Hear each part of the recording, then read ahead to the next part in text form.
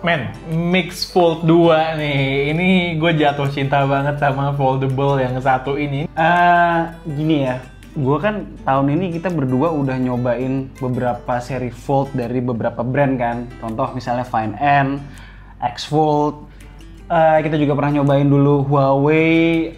Eh, gini ya, gue punya satu problem Oke. dengan semua foldable yang dijual only in China. Itu gue ada satu problem. Gue tetap ragu untuk memakainya untuk daily. Karena buat gue foldable itu yang penting di luar fisik, form factor dan segala macam fitur dan lain-lain adalah usability which itu baru gue bisa dapetin di dua smartphone foldable sampai saat ini sebenarnya. Yang pertama adalah jelas Samsung Galaxy Fold 3 ke atas Mhm. dan yang kedua Surface. Oke, Surface ya. Duo uh, pertama maupun yang kedua. Oke. Itu usability-nya, bener-bener fiturnya itu bener-bener kepake buat daily gue. Jadi nggak sekedar buat keren-kerenan doang smartphone layar kecil dilipat keluar jadi layar besar. Nggak cuma begitu doang. Ada bener-bener fungsinya, man. Ya mungkin eh, kita coba go through aja sambilan gue mencoba mengconvince lo bahwa ini adalah sebuah foldable yang menarik. By the way, kita nggak bakalan comparison in depth. Kita cuman mau sharing aja experience memakai kedua foldable phone ini seperti apa. Men, yang pertama aku mau bilang ya, handphone ini di kondisi folded itu, kalau gue samping-sampingin sama 13 Pro Max gue itu beda tipisnya itu nggak jauh. Gue makainya tuh berasa kayak make eh, Handphone lebar, biasa? ya, lebar-lebarnya maupun tingginya tuh kayak pakai X80 Pro Vivo. Oh. Jadi berasa familiar gitu kan, apalagi layar depannya 21 banding 9. Lebih enjoyable aja gue make cover display eh, Mix Fold ini ketimbang biasanya gue make Fold 4 Low. Ya emang approach-nya beda ya. Kalau Fold 4 itu dalam keadaan folded, sebenarnya kan dia compact, cuman tebel. Ya kan, tebel banget. Cuman ya compact. Buat one handed use tuh gue lebih nyaman di Fold 4 sejujurnya dalam keadaan tertutup. Nah cuma ketika dalam keadaan kebuka, gue ngerasa tetap lebih nyantai megang Fold 4 sih, Z Fold 4. Oke. Karena lebih kecil, eh, jadi one handed use tuh buat sambil baca artikel tuh lebih lebih apa ya, lebih nggak takut. Kalau ini kan si Fold 2 ini, Mix Fold 2 ini gede banget kan dalam keadaan kebuka. kan? 8 inch. 8 inch. Jadi megangnya juga mesti ekstra hati-hati menurut gue ya. Ya sebenarnya pilihan lah men, ya kan. Fold 2 Mix ini kita dapat extra space layarnya yang lebih besar. Dan juga gue emang gue setuju sama yang lo bilang, dipegang itu berasa lebih handful ya. Tapi ketika lo pegang begini juga tipis banget men. Folded aja dia tipis banget. Ketika dibuka itu jadi berasa lebih tipis lagi, lebih lebih, lebih easy aja menurut gue gitu. Balik lagi soal ke form factor ya. Gue ngerasa memang uh, Mix Fold 2 ini diperuntukkan buat kalian-kalian yang ingin banyak berinteraksi dengan layar depan. Oke. Iya kan? Dengan layar depan. Karena layar depannya normal. Normal phone. Ya, sedangkan si Fold 4, Galaxy Fold 4 tuh lebih buat kalian-kalian yang memang 60-70% bakal memakainya dalam keadaan terbuka. Jadi kalau gue pakai Mix Fold 2, gue akan mungkin 50-50 bahkan 60-40 antara layar depan dan layar utama. Oke. Jangan lupa juga loh, dengan form factor cover screen kayak begini, berarti kebutuhan gaming itu bisa dilakukan di cover depan tanpa harus mengkompromis apa pun di layar dalam. Iya, karena kan kalau main game emang bener juga men. Kalau main game itu orang yang biasa main di HP sama di tablet, refleksnya beda loh. Memori, muscle memory. Masalah memorinya aja beda.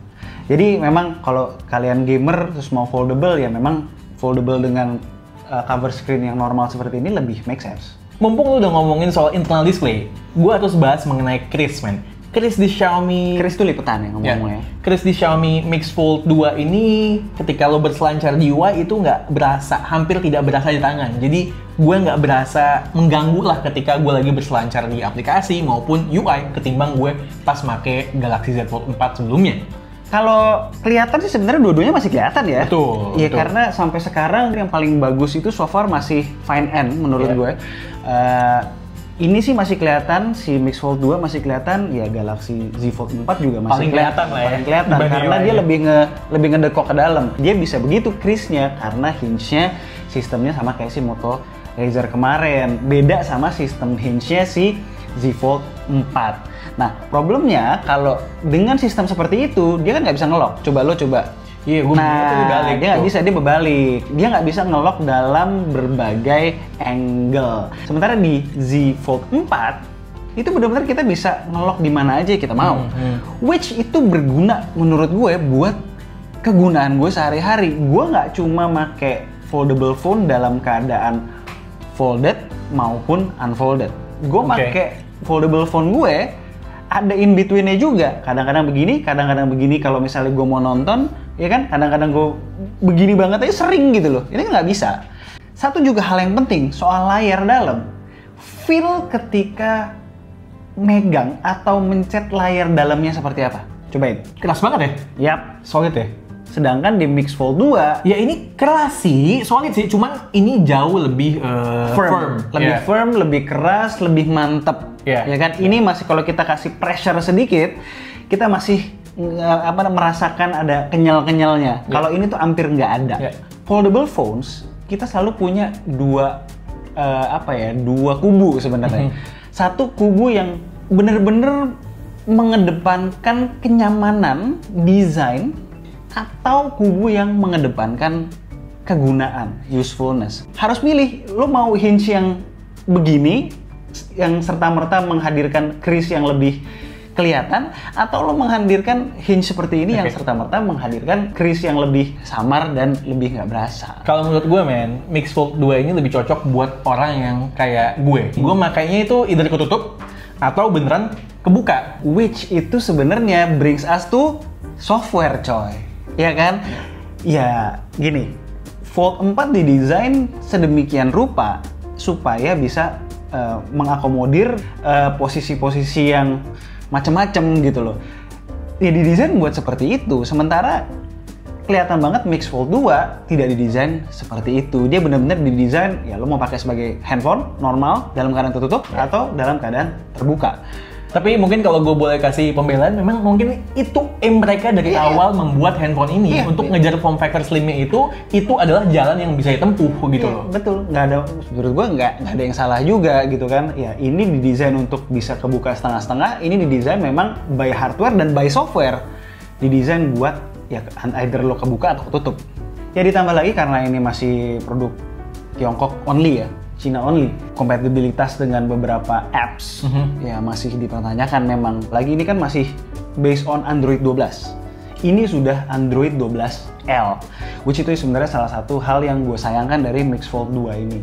Ya sebenarnya apa yang lo bilang gue masih bisa nerima ya, kayak masih ada beberapa aplikasi yang bingung kadang kalau misalnya dari unfolded ke folded masih suka error. Kemudian ada aplikasi kayak YouTube-nya itu gue nggak bisa zoom pinch sampai full. Tapi jangan salah, gue nggak setuju kalau lo bilang software Mix Fold ini kurang. Hmm. Karena software secara multitasking di dalam keadaan unfolded itu gue bisa bilang almost equally good kayak Galaxy Z Fold 4. Minusnya paling eh, nggak ada text bar, ya kan? Hmm. Yang mana itu kayak hampir semua foldable phone lainnya yang udah pernah kita coba juga, ya kan? Oke, jadi itu buat split screen-nya enak, window mode-nya juga bagus, terus uh, fluidity antara switching-switching juga bagus berarti? Bagus. Oke.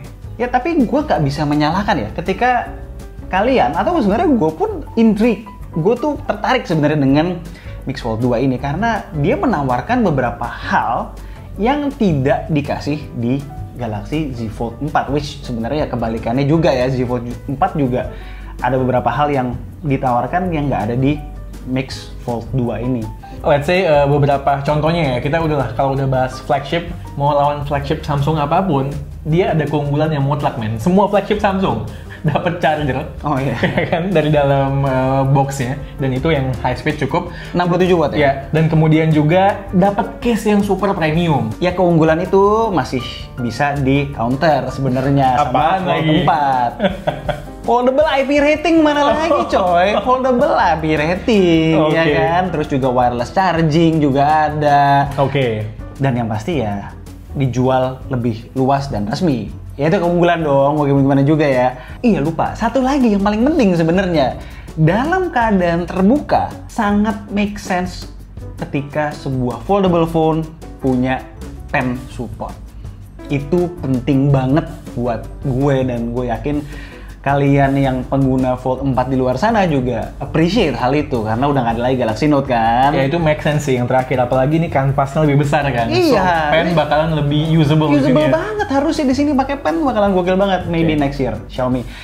Tapi ada satu hal yang gue bingung nih. Ini jadi kameranya gimana? Ini ngeri nih, jiper nih. Samsung nggak ada branding apa? Branding Samsung only iya, men, ini ketika gue pegang aja gini men di kafe men gini men.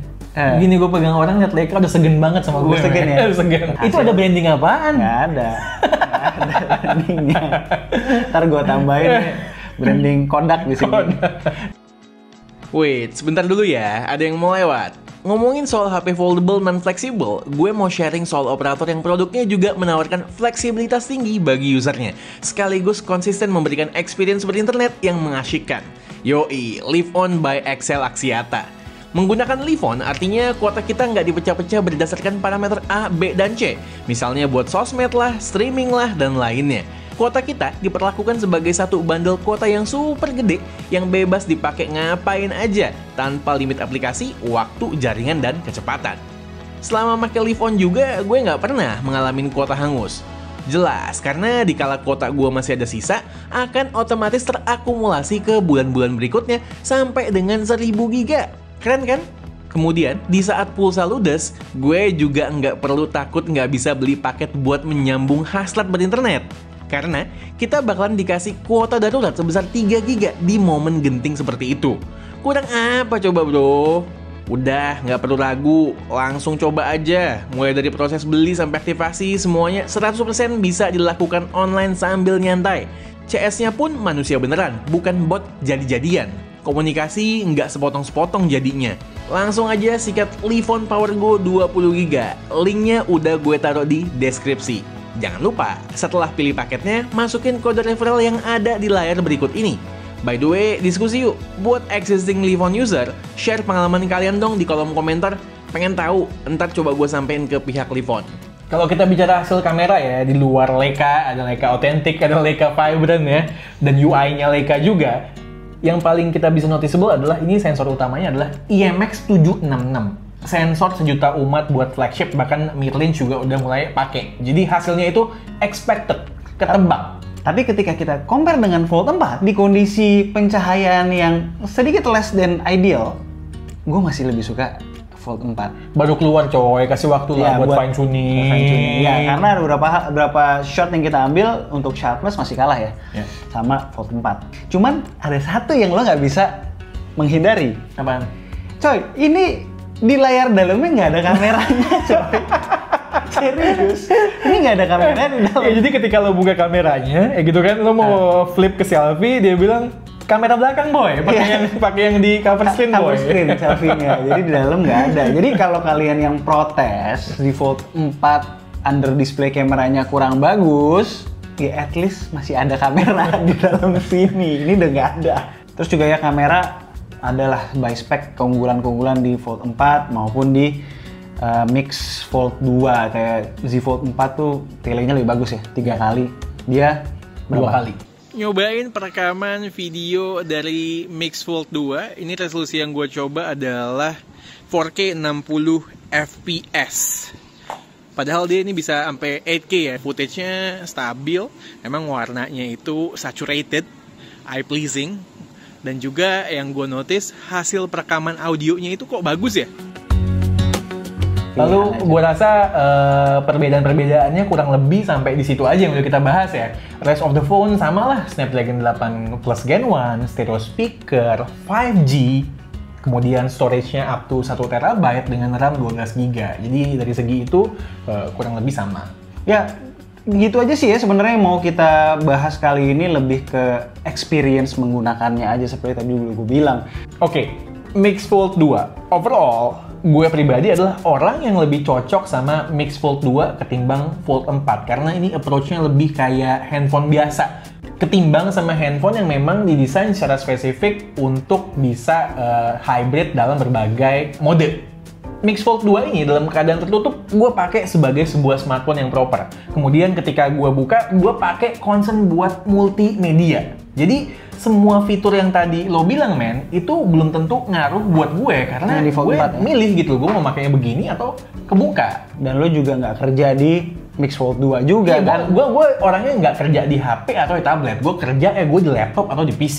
Gue sekarang tuh 80% productivity gue pindah dari laptop PC ke Oh wow. Fold 4 sejujurnya. Lagi-lagi namanya smartphone, namanya gadget itu semua balik lagi ke kalian. Kalian pikirin dulu butuh gadget, butuh smartphone, butuh gawai itu buat apa? Dan kalian tipe orang yang seperti apa juga. Dan belilah sesuai eh, kebutuhan kalian. Oh iya, buat kalian yang pengen barang-barang keren dan unik seperti ini, bisa cuci mata ke lapaknya toko keliling di Tokopedia. Linknya udah gue taruh di deskripsi. Jangan lupa dicek ya. Sekian aja video dari K2G kali ini. Gue Satish, Dan gue Alesa. and this is K2G. Tunggu racun-racun kami yang berikutnya. Bye guys. Ciao.